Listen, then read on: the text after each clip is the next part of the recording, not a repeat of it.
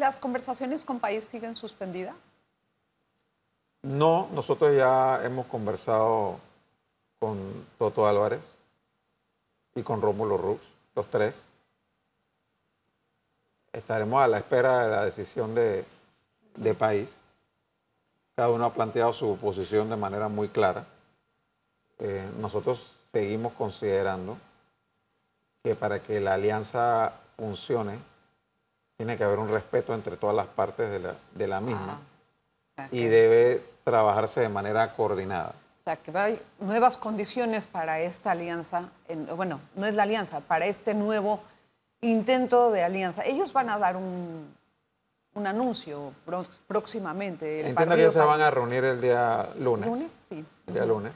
¿Qué van a anunciar? O sea, Bueno.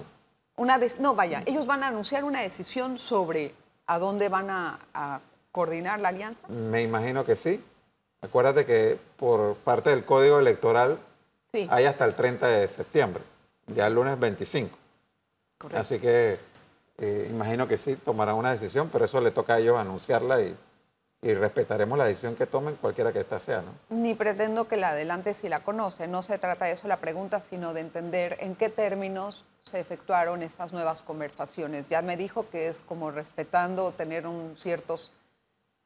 Bueno, eso responde al anuncio que hizo Toto en el restaurante ese de decir cómo iba a estar todo. Sí, porque eh, al final, te reitero, hay cosas que le, le corresponden a cada partido decidir cómo, cuándo las va a hacer, ¿no? Eh, y no puede otro partido estar, aunque estemos en una alianza, hablando por el otro, ¿no? Adelantando. Sí. Más que adelantando es que en ese momento realmente no había un acuerdo todavía. Ah, de verdad. Sí, ¿Y cuándo surgió el acuerdo después de eso? posteriormente.